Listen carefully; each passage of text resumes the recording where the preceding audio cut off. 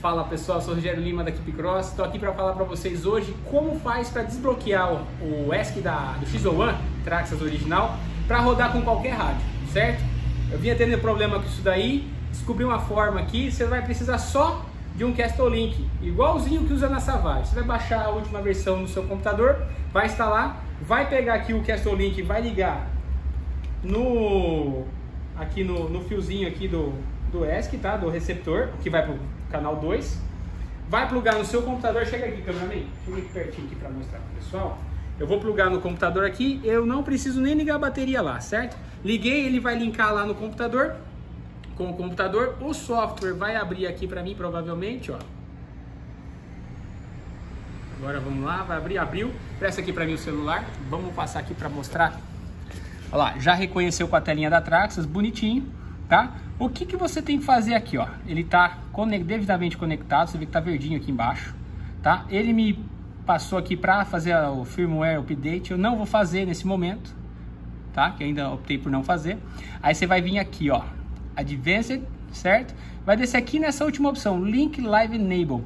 O que que acontece? O rádio da Traxxas, aquele link bonitinho e tal, ele faz a telemetria, ele tem essa função Link Live Enable, que ele fica fazendo leitura total e, e em tempo real do ESC e tudo que acontece no carro. No seu caso, aí, se você for trocar o rádio, você não tem essa função no seu rádio, seu rádio é um rádio comum.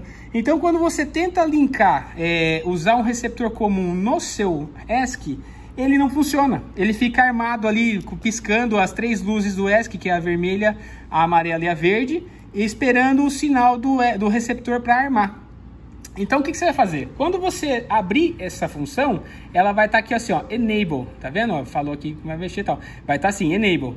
O que, que, você vai fazer? Que está aqui, está habilitado. Você vai vir e desabilitar, Disable. Beleza? Feito isso, você vem aqui no Update, que aí ele vai gravar essas preferências que você fez no ESC e já era, pessoal. O seu, o seu ESC está preparado para receber aí a, um rádio qualquer do seu gosto. Pode ser um GT2, GT3, e nem aqui a gente colocou um Kyoshinho. Enfim, acabou o mistério, pelo menos para mim. Fiquei penando aqui um tempão para conseguir fazer isso aí. Espero que tenha ajudado vocês. E qualquer dúvida é só mandar aí no chat. Falou? Prazer, valeu, até mais.